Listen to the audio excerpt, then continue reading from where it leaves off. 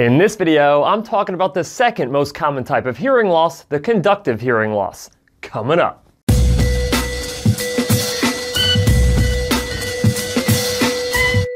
Hi guys, Cliff Olson, Doctor of Audiology and founder of Applied Hearing Solutions in Phoenix, Arizona. And on this channel, I cover a bunch of hearing related information to help make you a better informed consumer. So if you're into that, make sure you hit that subscribe button. And don't forget to click the bell to receive a notification every time I post a new video. Generally speaking, there are three different types of hearing loss. You have a sensorineural hearing loss, a conductive hearing loss, and a mixed hearing loss, which is the combination between a sensorineural and a conductive. Now, sensorineural hearing loss is the most common type of hearing loss, with conductive hearing losses coming in at second. But to understand any of these different types of hearing loss, we first have to understand how the ear works. The ear is divided into three sections, the outer ear, the middle ear, and the inner ear. The outer ear contains the pinna and the ear canal. The middle ear contains the eardrum, the three middle ear bones, also known as ossicles, the middle ear space, and the eustachian tube. The inner ear contains the cochlea, otherwise known as our hearing organ, the three semicircular canals that control balance, and the auditory and vestibular nerves that send information from the ear to the brain. Sound, which is a vibration, passes through the ear canal and vibrates the eardrum. That vibration then moves through the three middle ear bones to the cochlea, where this vibration is converted into a neural signal that is sent up the auditory nerve to the brain. A sensorineural hearing loss occurs when the inner ear is not functioning normally.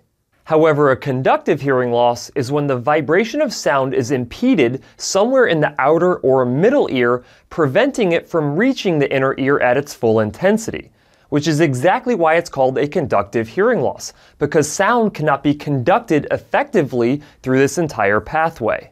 Conductive hearing losses can stem from the outer ear due to things like earwax, foreign bodies like cotton left over from a Q-tip, or even aural atresia, which is the absence of an ear canal. Conductive hearing losses can also be a result of a problem in the middle ear, such as a hole in the eardrum, fluid in the middle ear space, eustachian tube dysfunction, otosclerosis, which is a fusion of the middle ear bones, or even ossicular chain discontinuity, which is where the middle ear bones are not properly connected or aligned. When diagnosing a conductive hearing loss, your hearing care professional will look for what we call an air bone gap. Here's an example of an air bone gap on an audiogram. The X's and O's represent your hearing sensitivity as sound passes through all three parts of your ear, including the outer ear, the middle ear, and the inner ear via air conduction. The angle and square brackets on an audiogram represent the hearing sensitivity of your inner ear only via bone conduction, hence the term air-bone gap. If there is no gap between your air and bone conduction thresholds, then you do not have a conductive hearing loss. If you have a significant gap between these thresholds, then it is likely that you do have a conductive hearing loss. When performing a hearing evaluation, your hearing care professional will typically start with air conduction testing, which is what will give us those X's and O's on the audiogram. This is where we either place headphones over your ears or earphones inside of your ear canals and present beeps that you have to respond to by either raising your hand or clicking a button. After air conduction testing, we typically transition to bone conduction testing to get the brackets on the audiogram. This is where we place a bone oscillator on your skull's mastoid bone behind your ear and present the same beeps that we did through the headphones. This vibration of your mastoid bone will stimulate your inner ear directly, completely bypassing the outer and middle ear. Again, the resulting brackets on your audiogram represent the hearing sensitivity of your inner ear only, where the X's and O's represent your hearing sensitivity if sound has to pass through all three parts of your ear. Now, there are some other tests like tympanometry that a hearing care professional can use to identify what is causing your conductive hearing loss, but that is a topic for an entirely different video. Okay, now you should have at least a decent grasp of what a conductive hearing loss is, so let's go ahead and take a look at how a conductive loss is treated.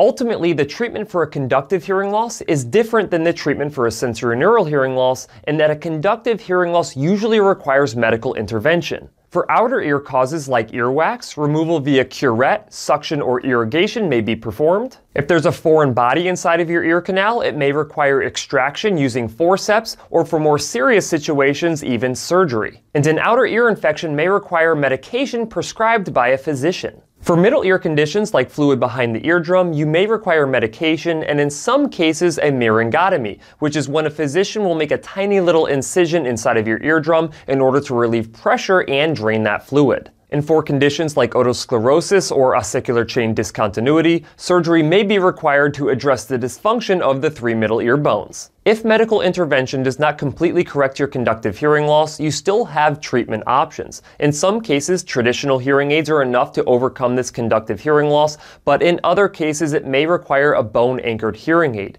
The reason a bone anchored hearing aid works so well for conductive hearing losses is that it directly stimulates the inner ear hearing organ, the cochlea, with bypassing the outer and middle ear space. Now, if you'd like to learn more about bone anchored hearing aids, feel free to check out my videos that I have on my channel which I will also link in the description. At the end of the day, it is extremely critical to precisely understand which type of hearing loss that you have because this will dictate which type of treatment is right for you. And this is another reason why I do not recommend having your hearing tested online because it is literally impossible for you to understand if you have a sensorineural hearing loss or a conductive hearing loss. So do yourself a favor. If you have any difficulty hearing whatsoever, make sure that you have your hearing tested by a hearing care professional so they can accurately identify identify which type of hearing loss that you have. After all, a conductive hearing loss that is not properly treated can lead to more serious medical conditions down the road.